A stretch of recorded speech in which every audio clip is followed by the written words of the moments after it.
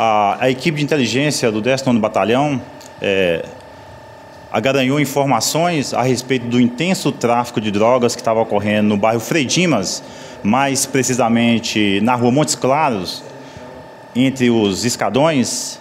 Diante dessas informações e da quantidade de pessoas que estavam na traficância, nós desencadeamos uma grande operação, contando aí com a Companhia Independente de Recobrimento e Eventos de BH, mais a equipe do Tático Móvel aqui de Teoflotone. Com as informações passadas aí pela equipe de inteligência, eh, as guarnições, ela se dividiu no terreno, equipes vieram da parte de cima, equipes vieram da parte de baixo e uma equipe incursionou no aglomerado.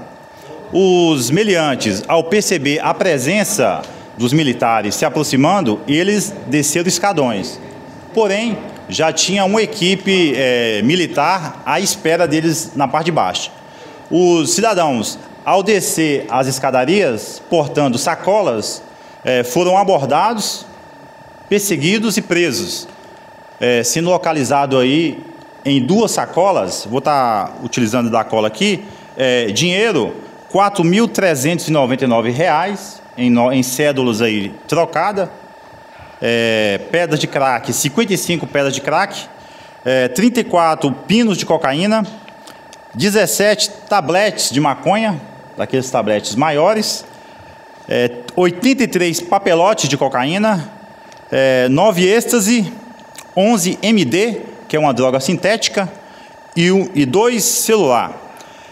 Essa operação nós conseguimos lograr êxito aí na prisão prisão de dois maiores e apreensão de dois menores.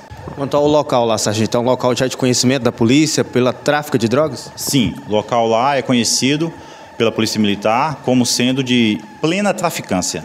Uma excelente ajuda aí dos militares de BH é, para ombrear com os militares aqui de Teoflotone. Essas ações vão continuar, sargento? Sempre. 24 horas por dia, a equipe policial militar está nas ruas para proteger o cidadão mineiro.